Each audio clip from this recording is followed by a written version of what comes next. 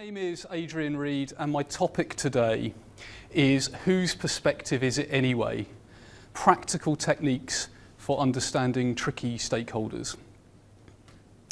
And I know from the, the, the few conversations, from the, the few, of you, few of you I've met already tonight, that um, we're, you know, as a group of practitioners in this room, we're, we're all from different industries and different companies. But I would suspect one thing that unites us as a community of profession, professionals is that we all get to work with stakeholders.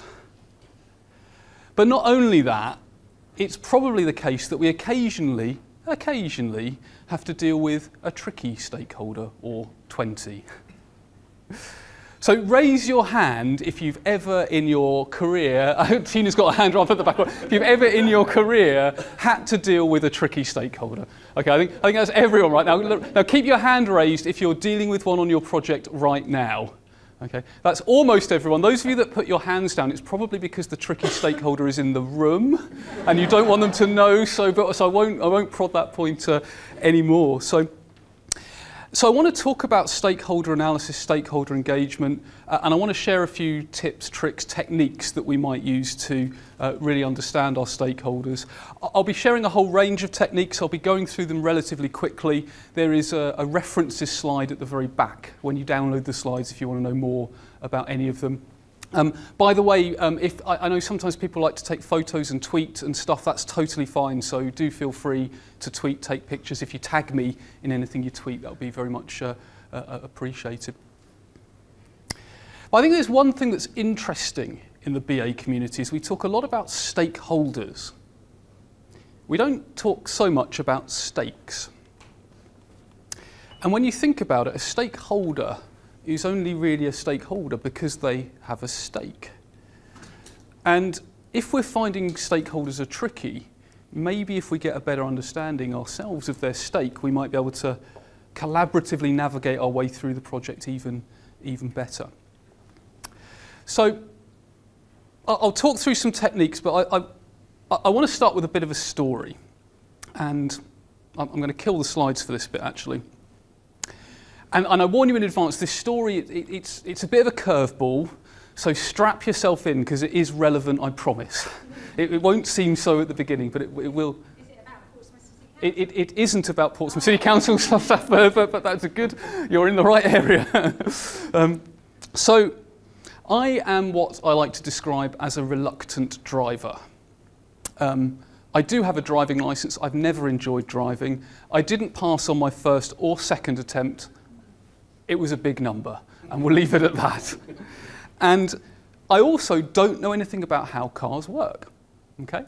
In terms of what I know how to do, I know how to refill the, um, the, the, the, spray, the, screen wash, the, na the name escapes me, the screen wash at the front. I just don't know, about, know how to, to do the dipstick on the oil.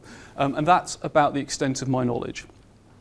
So when I take my car, and you can, this, you can tell this is definitely my car by the personalised plate there. Um, that, that, obviously that's photoshopped or actually Microsoft painted, I think, uh, on there. When I take my car in for a service, I sort of have to trust that the, that the mechanics are going to be honest with me.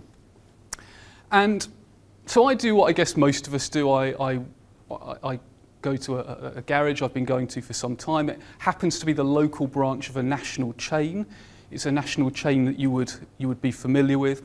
And when I last took it in, I booked online. And the online process was slick as anything. You put your car reg number in, it knew the engine size, it knew the service category, you put on an MOT, you got a discount, you added a, an aircon service. Great. Paid, ready, booked. I rock up on the day of the service. And you know in that like little weird office bit they have attached to garages that always feels really sort of uh, uh, uh weird. It was like there was chaos in there. I got there and there was a queue and I could see the poor person behind the, the counter and there was another mechanic with him as well, were navigating themselves through about three or four different screens. And the sense I got was they just had a new IT system installed. Now I could see that they were having to revert back to using a paper diary. Right, so all of the stuff was on this system, but they were having to write it all out because they were navigating between different screens and so on and so forth. And when I got there, they said they weren't actually expecting me. Okay, so I booked it online, but that hadn't got through to them. But they were like, well, it's all right, we'll, we'll you know, we'll, we'll squeeze you in. It's our, mis our mistake. And in the back of my mind, I'm having that, you're going to squeeze me in? like, like how good, how, how high quality is this work going to be? But anyway, I, you know, I go away, I go on with my day, and I get a call around lunchtime, and they tell me that there's a, a fault with the water pump, um, which I'd, I'd suspected for some time because there had been some leaking uh, antifreeze coming out of it. They tell me how much it's going to be cost, it, it, it's going to cost, and it's fine, so I give them authorization. The end of the day comes, and I get a call, and it's the kind of call you never want from your garage. The words I remember were, there have been some complications. but they said, don't worry about it. Don't worry about it. You know, we'll have it ready for you tomorrow. The next day, the regional manager of this arrangement rings. And he, his tone is even more somber. And he says, We made a mistake. Now, keep in mind, I know nothing about cars. And I don't know if other, other folks in this room find this, but I find that, and perhaps it's because the perception of my gender, um, I find that mechanics and sometimes think I should know about cars. So keep in mind that what I'm, what I'm about to say, I had no idea what it meant. Out of interest, raise your hand. Does anyone in the room know anything about cars, even broadly? Okay, a couple of people. Okay, so you might find, I found that when people who know about cars hear what I'm about to say, they, they do a sharp intake of breath, that kind of moment. Anyway, he, he said to me, there's been a problem. We were, when we went in to change the water pump, we had to, I think, retension the timing belt. We made a mistake with the timing belt tension, it slipped, there was a loud bang, and uh, yes, I'm seeing, I'm seeing laughs. There was a loud bang, and we now need to assess the damage that we've done. Don't worry, sir, we'll charge, you know, we'll pay for all the damages. We're going to have to get specialists to work on it, but it's our fault. We'll fess up to it. So I'm like, fine. Because think about my stake in this. My, what I really value is a safe car and a car that's reliable. I don't actually use my car that often. It doesn't really bother me that it's going to be in there for a while because it's probably safer there than parked in on my street, to be honest. So anyway, a week goes by, they're keeping me updated, it's not ready. They had to put a scope down and, and it turns out they'd broken um, eight of the 16 valves. They had to get valves shipped in because there weren't enough in the UK or the motor factors didn't have, um, you know, I didn't know. This, this is major surgery on the engine, but I had no idea. Um, they had to send bits of it off to have it pressure tested, and they were talking about opening the head. I had no idea, but I gather it's a head gasket or something. And anyway, after four weeks, it's ready. And I go and collect it. And again, there's chaos in the little office attached to the, uh, attached to the garage. And I could hear, and it was the regional manager in the, like the little office within the office, yelling at someone on the phone as I go in there. And all I can remember him saying is, you tell them to get the parts here tomorrow, or I'll ring and I'll cancel the entire Euro car parts contract for the whole of the south of the UK. So I'm like, this, this situation, this picture is so dysfunctional on so many levels. You've got new IT that's not working. You've got a regional manager who's shouting at other people. You've got the, you know, mistakes being made in the garage. Maybe some of these things are related. Anyway, I pick up the car. I pay what's due and I drive out and it's really smooth drive, I won't lie. I look down at my Speedo and I do a U-turn and take it straight back to the garage because this is what my Speedo looked like. and um, but those of you that are observant will notice that this little thing here means the handbrake's on and that means it's doing 140 miles an hour. Now, it's a 2007 Fiesta. I don't think it could ever do 140 miles an hour. So I take it back, and the mechanics actually are really friendly. I mean, I've been going there for years, and they're really apologetic. And the, one of them says, well, he attaches the diagnostics and says, well, the diagnostics say it's fine. We've seen this before. There's a back door that we can use to reset it. I don't know how to do it. My colleague does uh, tomorrow. So if you leave it with us, we'll hack in through the back door and reset it. And I'm like, okay. and they do, to their credit, they do. And it, it, you know, the speedo was working again. But I never trusted the car after that because so many things had happened. So anyway, a couple of weeks later, I was in the pub with my friend Gary, and Gary does know about cars. I, I don't know if it's something about the name, but I find most people called Gary seem to know about cars. But he's, he's got an extreme knowledge. He's like a petrol head. And I was telling him this story, and I, you know, I got to the point where I said timing belt, and he, where he did that thing, and, and I explained it to him, and he said, Adrian, Adrian, how old's your car? I said, it's a 2007 Fiesta. He said, how much do you think it's worth? I'm like, well, to be honest, it's got dents on it because I drive it in a city and sometimes, sometimes people will leave a new dent in it for you. I don't know, maybe £800, £1,000 if I'm lucky. He says, Adrian, if they've sent that out, they've probably spent somewhere between one and two thousand pounds getting it. You know, the, it's basically a, you know major engine surgery. And I was like, really? Because if I'd have known that, it, like if I'd have known that, if they, if I'd have, if, if we'd have known each other's stake in this, then we probably could have come up with a different solution. Because I'd have just said, give me 500 quid and we'll call it quits. you know, scrap the thing. It, I, I genuinely only thought it was going to last another year. Okay, fast forward six weeks. Six weeks after they practically, from my sort of numpty understanding of engines, had pretty much rebuilt a big chunk of the engine. And um, there's a catastrophic failure on another part of the car. And it's to do with the braking system. And I'm not happy to drive it and I'm not happy to sell it because it, I, just, I couldn't live with myself if someone injured themselves. So I scrapped it. And I got the princely sum of £135 for it. now, I know what you're thinking. You're thinking, well, that's a cute story, Adrian, but we don't work on Ford Fiestas and we don't work in garages. But like, zoom out, zoom out a bit. I bet you've seen situations where someone has imposed IT on someone without understanding how that IT needs to work. And I bet you've seen situations where there's a dysfunctional manager, someone yelling commands at people. And you've seen people like the mechanics who really were trying to do their best, but the, the, the, the situation around them hamstrung them. And you sort of you can almost imagine people in the head office of that garage saying, "Oh, we'll just you know we'll we'll install this new branch management system. It'll be fine."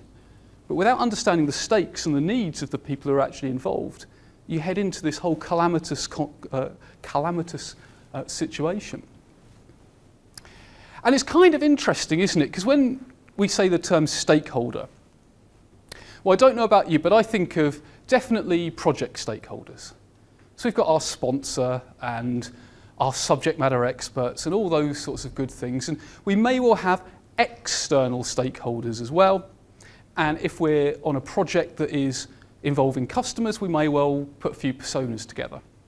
Um, and a personas, great technique. Raise your hand if you've ever used personas as a technique. It's, uh, yeah, fantastic. If you haven't, look it up. Awesome technique. But and I sort of feel a bit like I'm breaking secret, sort of BA secret code here, but the thing about personas is they're really supposed to be the face of the data, the face of the insight.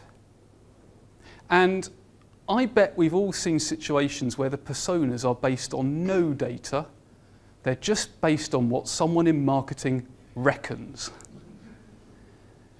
And the danger with that is that what we then end up doing is building services for what someone in marketing reckons.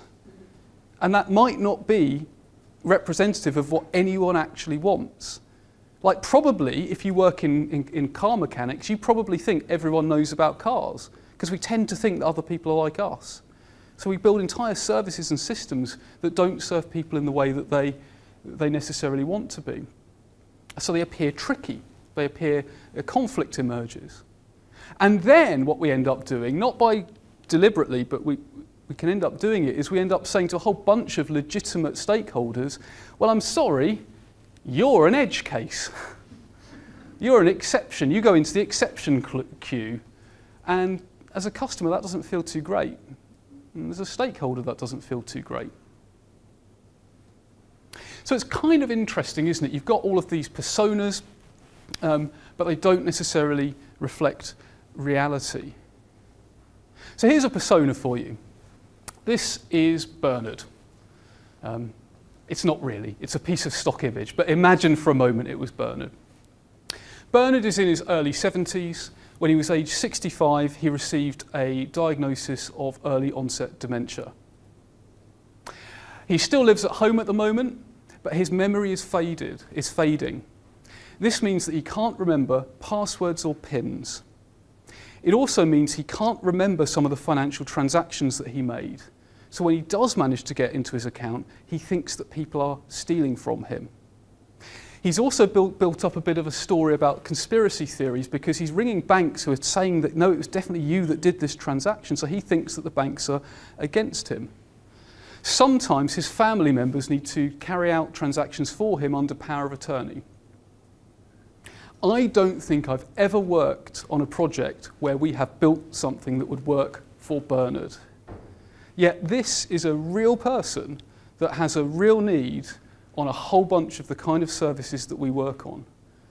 And it's no, you know, if you look at the number of people with dementia, it's by no means an edge case. And that's just one, one example. So we've got to think about the ethics of what we're doing as well. We need to build for the likes of, of Bernard. So I want to talk through some techniques. Um, I've got broadly three topics, three parts. I'm going to talk about stakeholders and stakes. So a few techniques for doing stakeholder analysis. I'm then going to talk about different perspectives on situations. Um, just to pre-warn you, there will be a little bit of audience interaction in that bit. Um, so prepare yourself for a little bit of audience interaction in that bit. And very briefly at the end, I want to talk about zooming out. I want to talk about what we mean by engagement and how we engage. So we'll start with stakeholders and stakes. And I'm pretty sure when I say stakeholder analysis, many of us will be familiar with, will think of a grid that probably looks something like this. Okay. I'm, I'm seeing nods. There are different versions of it. This happens to be the version that's from the Business Analysis Body of Knowledge Guide. Um, if you're not familiar with it, it's a really useful uh, body of knowledge. If you're an IIBA member, you get it for free. And if you haven't seen it before, it's relatively straightforward. You take uh, a stakeholder, you assign them a score of how influential they are from 0 to 10, and you think about how much impact the situation is having on them, positive or negative, or how much impact a solution would have on them, and you give them a score, and, and it gives us an approximation of the type of engagement techniques that we might use. So raise your hand if you have ever seen this or anything like it. So, if you've, so I think that I think that's almost all of us. Keep your hand raised if you've ever used it. Okay. So again, most of us. If you haven't, excellent technique. Highly recommend it. However, if you have used it, you may well have found a few situations where there are people that don't fit neatly into the categories like they should. You know, we might have a situation where, for example, we say, ah, well, you know, Natasha, Natasha's here. Natasha's very, very influence, influential. She's going to be impacted. Or except for the non-functionals, where she's got far less influence than the, you know, the, the design board or sign-off team or whatever. And for another part of the project, she's here and here and, uh, and here. So she's sort of dotted about the, the, the, the grid. And that's still useful. It's useful insight for us to know, but it can get very busy very quickly because you start to add other stakeholders and they're in different positions and other stakeholders. And then all of a sudden, I always think it looks a bit like a fly swatter, like we sort of swat our stakeholders. And it's difficult to read. The other thing I think that we, as a community of BAs, should perhaps um, challenge on a model like this is this quadrant down here which is highly impacted but low influence. And the traditional version of this says keep informed. So highly impacted but low influence, just keep informed. Think about the garage example. That's your mechanics in the actual branches. They're the people who know how the work works. Like we probably want to take a bit more of a, an active engagement there. It's probably people like customers as well. So we need to perhaps rethink that quadrant. I mean, it was only ever an approximation anyway. So a couple of techniques, and I, I mean, again, I wouldn't diss this technique. It's a useful one. But there are some other techniques we can use as well as or instead of this. One that takes this approach and turns it on its head is the stakeholder rainbow. And I'll, I'll, I'll put an example up and I pretty much won't have to explain it. It's, it's really intuitive. This is an example of a stakeholder rainbow. You can see you've got exactly the same dimensions. You've got influence from most influence to least influence, but it's like a, a sort of you know, radar type screen. And you've got whether people are least, moderately, or most affected. Now, although drawing it like this might seem like a subtle difference, it has quite a powerful psychological effect I've, I've found. Because what it does is it clusters all of those people who are most affected right at the centre. Almost like, if you think about it, it doesn't matter if someone's really affected by a change or a problem or a situation or whatever, even if they've got no influence, well, we've really got to consider them. We've got to create a world that works for them as well. Otherwise, they're going to emerge later, probably as a group, to protest whatever it is we're doing. So to avoid that kind of trickiness, we can consider them from the, the very, very go, and not just consider, but engage. Because so often, and I'm sure you'll have seen projects where this happens, there are people down here who are very unhappy because their work's been made much more difficult by a, a decision that's been made in a cosy meeting room somewhere over here. And if you're in the head office of a national firm of garages, in your comfortable office, it's probably very easy to say, yeah, the mechanics, they'll adapt really easily to a new computer system. But, you know, go down there, see the grease, see the Swafiga, see the, the actual situation. You might think, uh, we might think differently. It's also useful because different stakeholders in different places have different stakes. Do you think people down here, they're probably using or affected directly by the thing. They're going to care about usability and the nuts and bolts and the detail.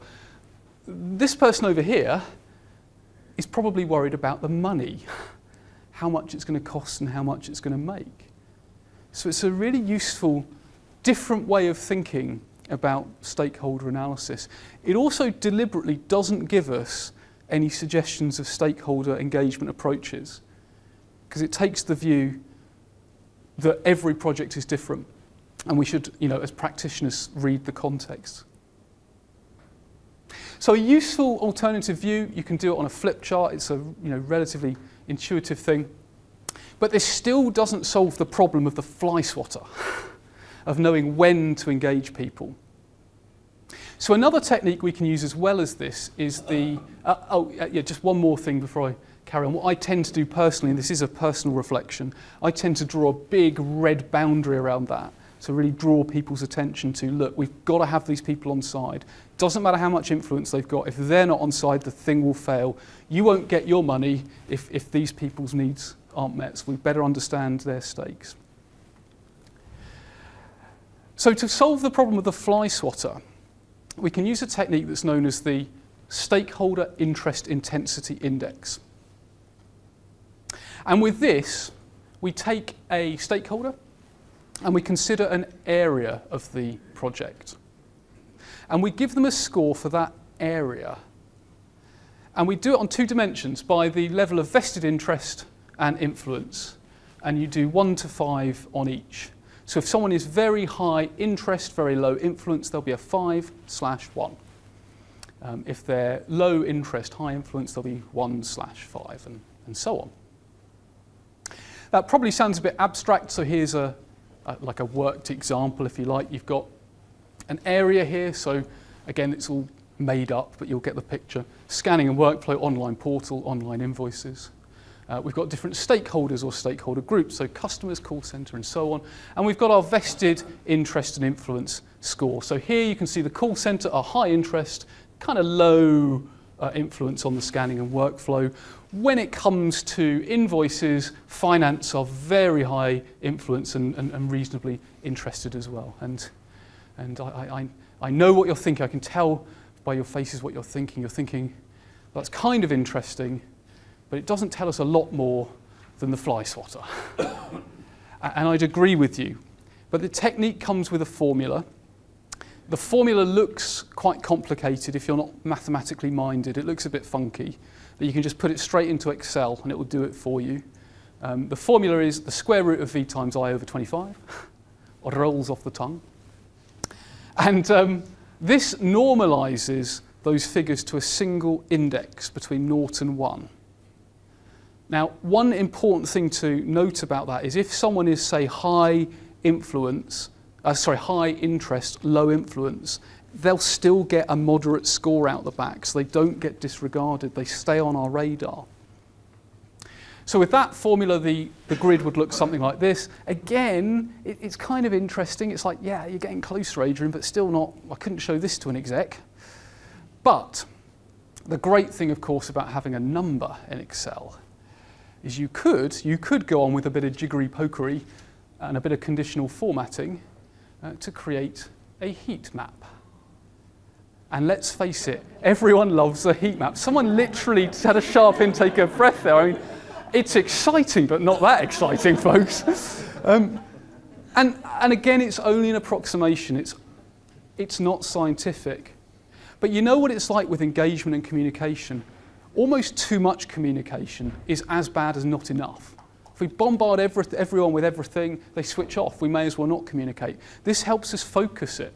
So for example, well, you know what, scanning and workflow, yeah, the call center, doesn't matter that they're not influential, we need to, we need to go and have a conversation with them. When it comes to online invoices, well, actually, uh, the finance team are really, really crucial. So it gives us a, a way of targeting, targeting the type of stakeholder engagement that we're going to do which will help us avoid those tricky conflict situations because we're engaging people at the right time. Of course, we should revisit all of this as we go through the project. So we've talked about stakeholders and stakes with our impact interest grid, our fly swatter, with our, rainbow, and also with our vested interest index. So I want to talk now about perspectives on situations. And remember, this is the bit where I primed you to say there will be a little bit of audience interaction. But since I know that at this point in the evening, audience interaction is often hard, I do have a couple of prizes to give away. So yes, so you might win, if you take part in this, either a free book um, or a free electronic version of that book. so I am going to ask a question. It's going to sound like a trick question, and it isn't. And what I'm going to do is I'm going to read the question out. I then want you to shout out your answer to it. So I'll read the question, I'll explain it, then I'll literally throw it over to you, and I want you to shout out your gut instinct. And by the way, just shout out the first thing that comes to your mind. Don't self censor. Well, maybe self censor a little bit, knowing the crowd. Um, um, and uh, whoever I hear the first or the loudest or whatever will win a prize, okay? And if you win the first prize, you'll get a choice of the book or the ebook. The second person is stuck with, uh, uh, with, with, with whatever the first person didn't want. I shouldn't say stuck, um, of course. So, my question for you is what is the parking enforcement service for? Now, if you're not familiar with the Parking Enforcement Service, they are the lovely ladies and gents that put these little sticky things on yours and particularly my windshields when we don't park where we're supposed to. So, I will throw it out to you now. What is the Parking Enforcement Service for?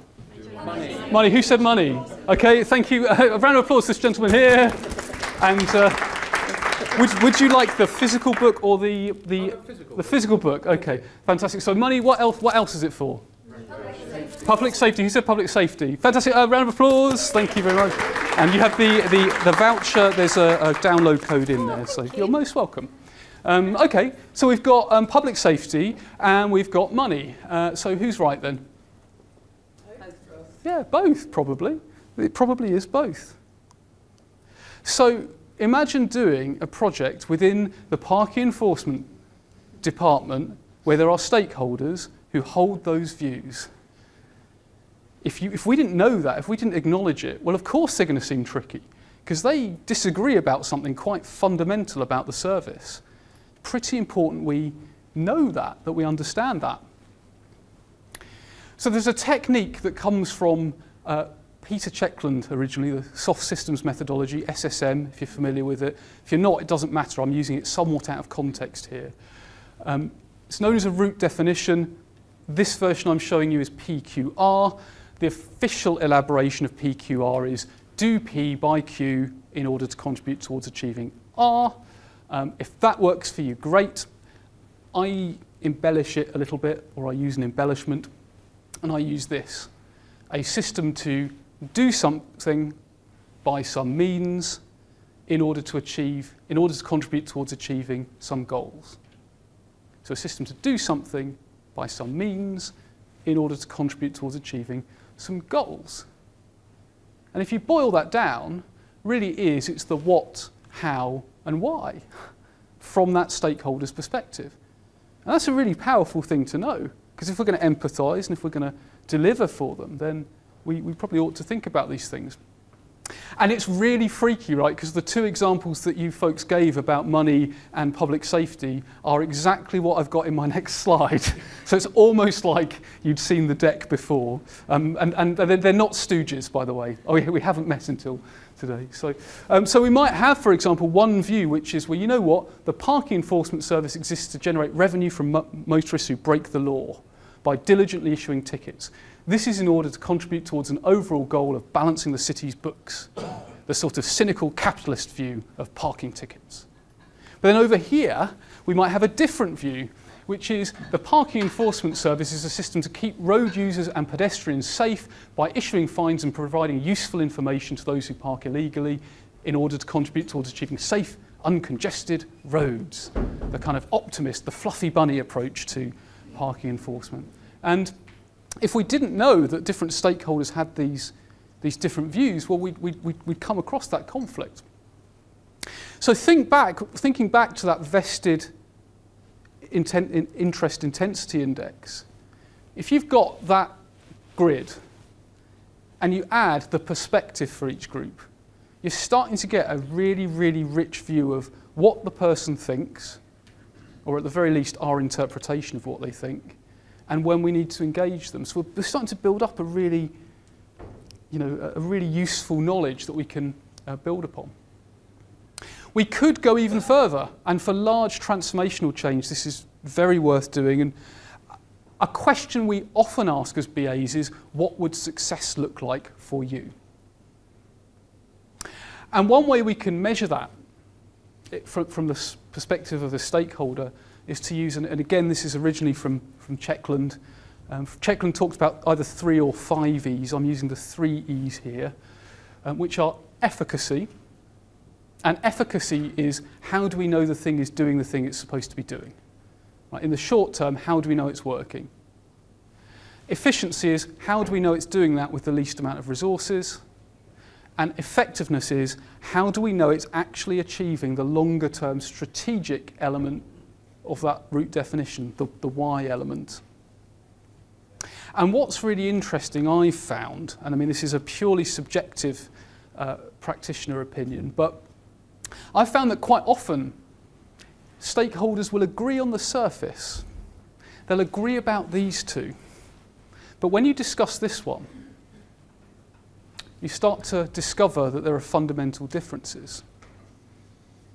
Because think about that parking situation. We've got the, you know, we've got the sort of the, the cynical capitalist view. And they might say, well, you know what, I judge efficacy by how many tickets are given. And, and actually, the, the fluffy bunny safety might say, yeah, actually, because we want to be, in the short term, issuing tickets. Great, we agree. Uh, efficiency, we might say, well, I want to do that as cheaply as possible. Mm, yeah, from a, so do I. But then you talk about effectiveness. And, the, and the, the cynical capitalist view would be, well, we want to make more money. I don't care if people are parking everywhere. The more money, the better. At which point the opposing or the, the, the different view would say, well, hang on, I agree with the first two, but no, ideally we'd have zero tickets issued eventually, and we'd have safer roads. There'd be fewer casualties, less congestion. That's what we'd measure there. So I don't know if you've ever had those meetings. I suspect you have had these meetings, where you go in and everyone agrees and you walk away and it's like they have collective amnesia. It's like they don't, they, it's like they don't, they, they've agreed, but it's like they, that agreement never happened. That can sometimes be because there are the, these deeper underlying stakes, views, perspectives that aren't addressed.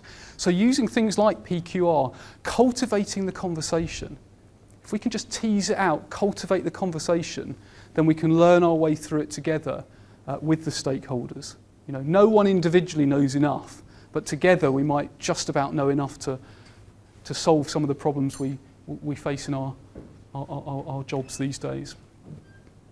And if you think about the three E's, well, we build up a really quite uh, rich picture of the different stakeholders here because we've got our vested interest index, we've got our perspectives, we've got our three E's. We're really starting to know what makes them tick. We're really starting to understand them, when to engage them, and so on. But a few of you now, and I know, because I would be thinking the same, are thinking that's fine, Adrian.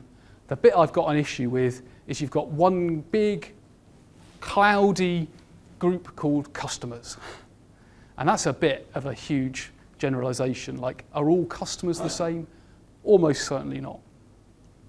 And that's one of the great things about using an approach such as this, is you can say, well, do all of our customers think like this? Do they all value these things? No? Okay, fine. Let's split it.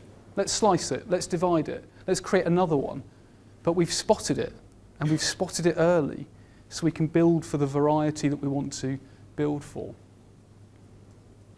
Now, one of the challenges will be, of course, however good we are at doing this, however much we try and preempt that conflict, those tricky situations, those tricky stakeholders, they will still see things differently. I think it's probably something to do with human nature. We all bring our own lens to the world. And I know as BAs we like to think we're objective, but we aren't. You know, we still bring a view to the situation as well.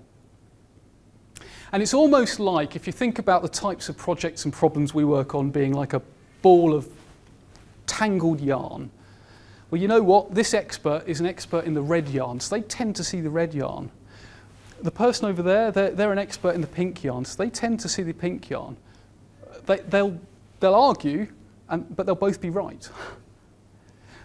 But if we can somehow get that yarn out of their head, their mental model out of their head, so that we can understand their stake, their viewpoint, and actually surface it in some sort of model, so we, we can discuss the model, model rather than the person, then we might get closer to solving some of the complex situations that we work in in our organisations. So there's an excellent technique called cognitive mapping. Now, I don't have time to do this technique justice, so I'll give you a very quick overview, but if you want to know more, um, as I say, there's references at the end, or I could yarn on about this for hours during the break as well.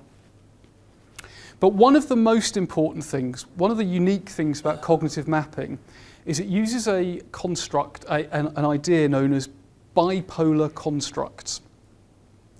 And the idea of bipolar constructs is if there's say, if someone says something's a problem, so say someone says, well, we're trying to solve, you know, we're trying to, uh, we, we have this problem that profits are reducing. Um, the question you ask is, well, well what do you want to ha happen instead? You know, what is it you want to have happen? Is it the opposite, you know, for you, is the opposite of reducing profits, is it increased profits? Because like they might say, no, actually, we just want it to stay steady. You know, that's a different interpretation of the problem. And I know it sounds off, often it's obvious, but if you start to un unravel these things, you find that different stakeholders, they, they agree on the problem, but the opposite, the thing they're trying to achieve, is subtly different. So I'll show you an abstract example first, just to show you the notation.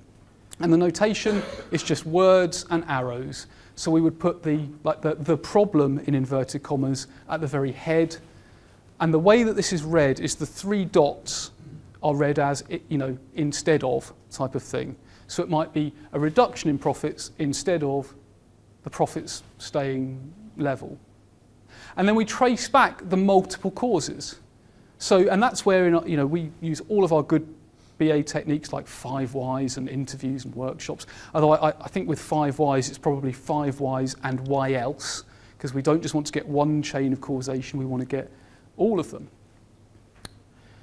So here's a, a, worked example. You can see we've got a decrease in customer retention instead of maintaining a stable level. That's at the top of our tree. That's what we're focusing on. And a key thing here is we'd interview the stakeholders separately first. Or if it's a group like customers, we'd get some kind of focus group to get a representative view. And Why is this happening? Well, because there's a decrease in customer satisfaction instead of maintaining a stable level. Okay. Why is that? Well, because orders are regularly, regularly delivered late rather than on time. Okay. Why does that happen? Well, because we're using cut price delivery firms instead of full service firms. Okay. Why else might that happen? Well, also we've got this issue with incorrect data rather than correct and complete. And why is that? Well, because there's no validation on the IT system versus having sensible validation. I mean, this is just a fragment, just to give you the idea, but those sorts of conversations, again, it opens the dialogue. Now, if you get these from different stakeholders separately, I, again, I, I think in pictures, I imagine it as like getting that wool out of their head. So you get the pink wool out of the, the pink stakeholder's head, the, the red wool. Then you can bring them together because you've got a whole bunch of cognitive maps. You can start to workshop it you know, literally bring it together and say, well, you know what, folks, good news story, you agree on 70% of the problem. Thumbs up. However, let's discuss the 30% you don't. And we do so, remember, with our understanding of their perspectives and stakes. And you get towards what's sometimes called a group or strategic map, but really a shared understanding. The really, I think, great thing about this approach is once you've got that understanding, you've got a huge map and you're like, wow, here are all the sub-causes. Okay, which one do we start with? You know, oh, you know, we've got an issue because we're using cut price delivery firms. Well, tell you what, let's do an experiment. Let's use DHL for a month and see what it does to the figures. If it works, amplify it. If it doesn't work, attenuate it, you know, stop it, and then try again. It's, it really works with the idea of like business agility, of, of carrying out experiments, of, of seeing what works, and refining this model, because this is only a model, remember, it's not reality. We need to test it and continually uh, adapt it. Okay, so we've talked about stakeholders and stakes with our, our traditional four-box grid, the fly swatter, with our rainbow and with our vested interest index. We've talked about perspectives on situations with our PQR, our how, what, why, uh, and also, we've, we've talked about using cognitive maps and group maps or strategic maps. So I want to talk very briefly now about zooming out. Very, very briefly. And what I'm talking about here really is how we, how we engage, or what we mean by the word engage. So I'm going to ask for just a, another little bit of audience interaction, and I'm afraid I don't have a prize for this bit. But please, please shout out anyway. and um, it, this time it really is a trick question. But my trick question for you is what is that? Don't be shy. It's a council notice, yep. What else? It is planning permission, yep. That, ladies and gentlemen, is consultation. um, or rather, it is a statutory expression of consultation. It isn't really consultation as you and I would think of it because I don't know if you've ever tried to read one of those, um, but I've got, my eyesight's okay, it's not great, I, I find it really hard to read. The contrast also isn't great with the colours and so on and so forth, but this led me to think, well, what do we actually mean by engagement, consultation, all these other sorts of terms that we use probably every day in our BA career. And it's almost like there's a spectrum. So at this end, there, there might be like the, the passive approach.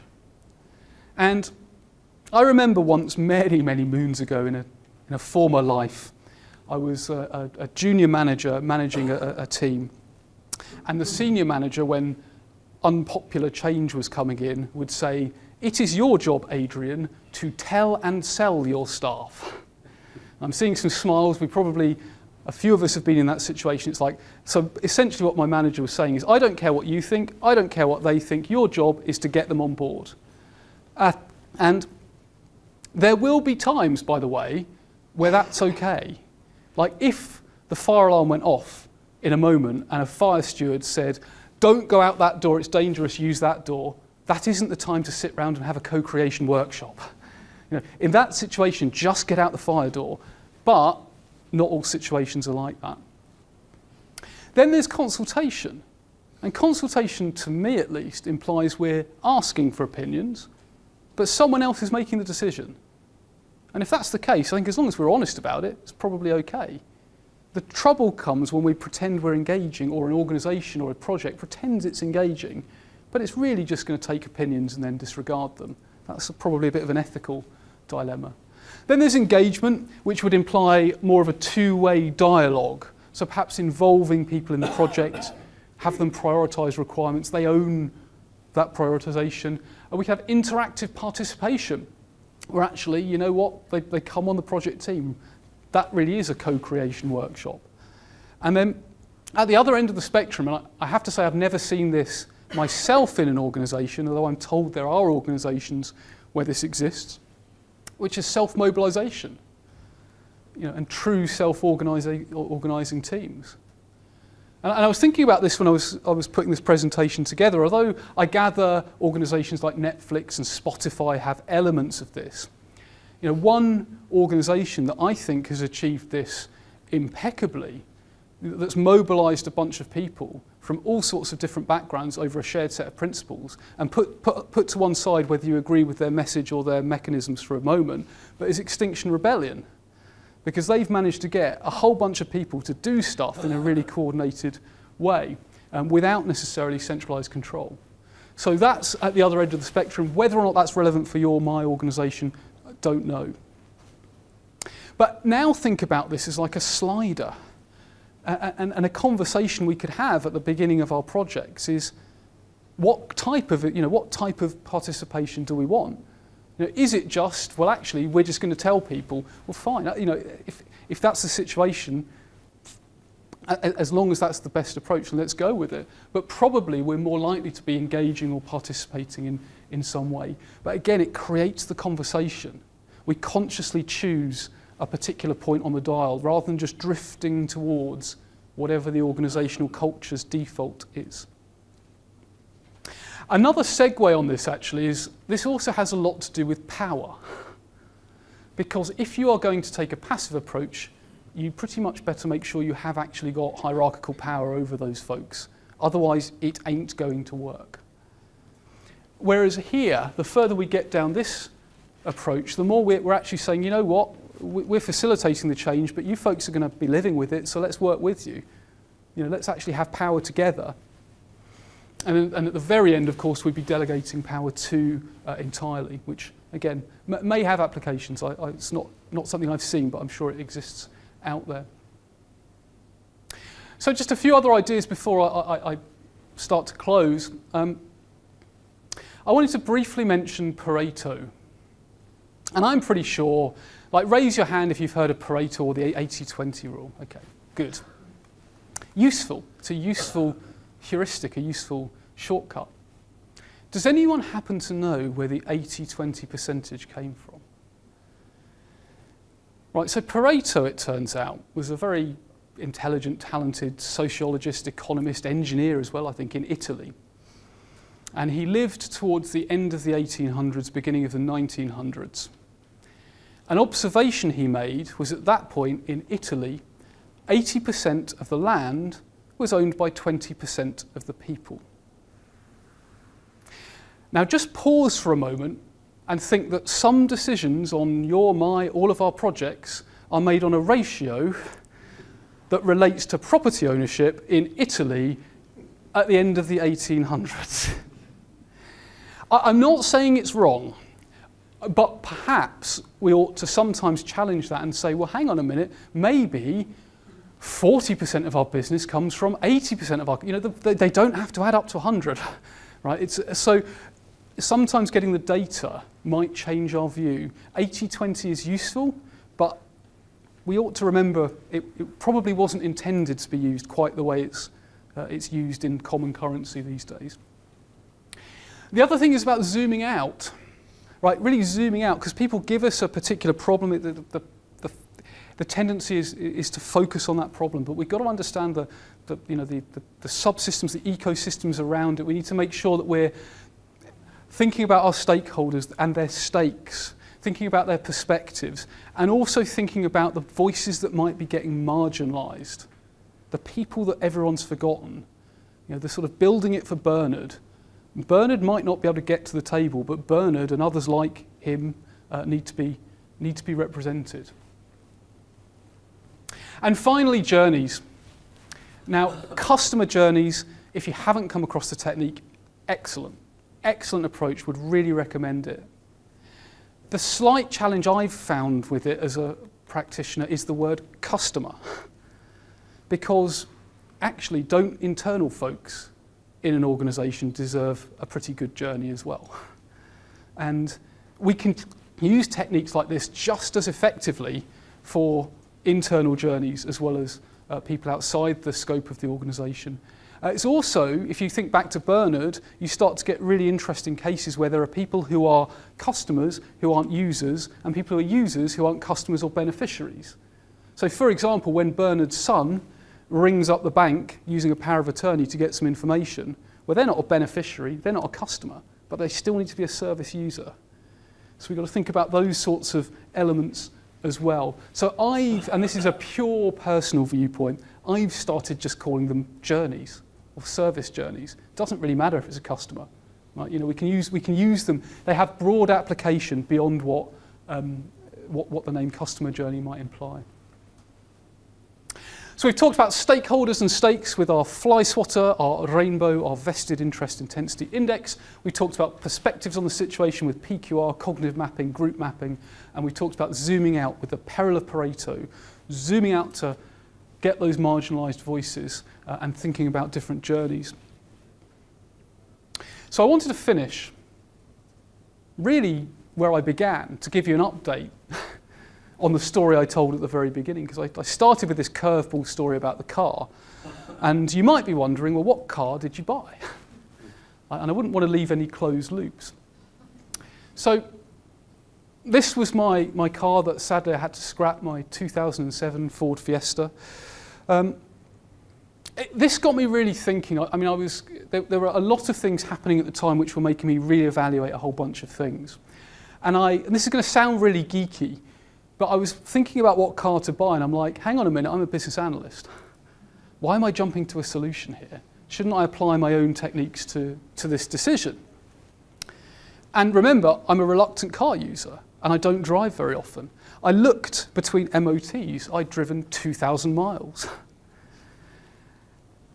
I drive once every two weeks. I don't actually need a car. I need to use a car when I need it. I don't need to own one. So I didn't replace it.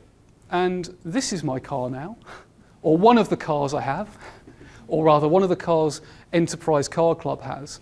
So I pay a mod modest monthly fee. When I want a car, I go up to the car with an app, the door opens, I type in a PIN, I get the, the key fob, and I'm charged by the hour. And I've done the calculations, because let's face it, I wouldn't be a BA if I didn't do a mini CBA. and I reckon it's going to cut my motoring costs down by about 50% and I get to drive around in a 2019 car that somebody else services. So I don't even have to have the, you know, the time dealing with the, the, the mechanics and so on. And this is another thing, if we understand each other's stakes, we can come up with solutions that we might not have otherwise thought about. Like, that's one example. Think back to the, the original garage. Well, if I'd understood their stake, if they'd understood mine, if I'd been a bit braver and said, I don't know what you're talking about with the timing belt, well, maybe we'd have reached a different solution, which is they give me 500 quid and we just call it quits. So understanding stakes, needs, perspectives, whatever we call them, can help us co-create better outcomes where everyone wins. So my final ponder point that I'd like you to, to leave you with. So we talked about marginalized voices. I think it, it, it's useful for us all to think about, well, you know what? Who's the stakeholder that we've forgotten? Which stakeholder on your project, my project, all of our projects is currently not being heard? And how can we as an enthusiastic, empowered community of practitioners ensure that their voice is heard? Because when we design with diversity and inclusion by default, everyone wins. We get better outcomes. And if we do that, we'll be able to deliver projects that deliver better outcomes for our organisations, our sponsors, our stakeholders, and even more importantly, do that in a sustainable way for the communities in which we serve. And with that, I will say thank you very much.